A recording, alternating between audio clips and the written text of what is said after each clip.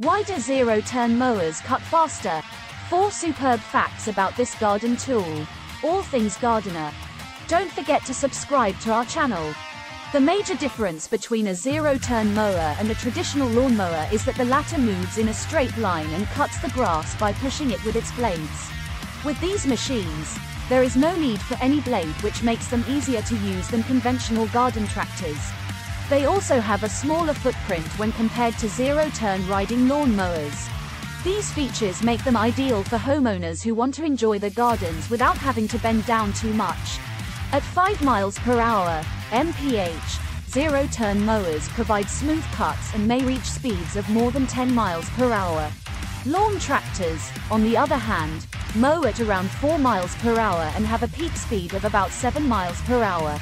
Know that the quicker you mow, whether on a zero-turn or a lawn tractor, the worse the cut quality. Even if you have a zero-turn mower, the highest speeds are usually employed to go to another section of the yard rather than to mow the grass.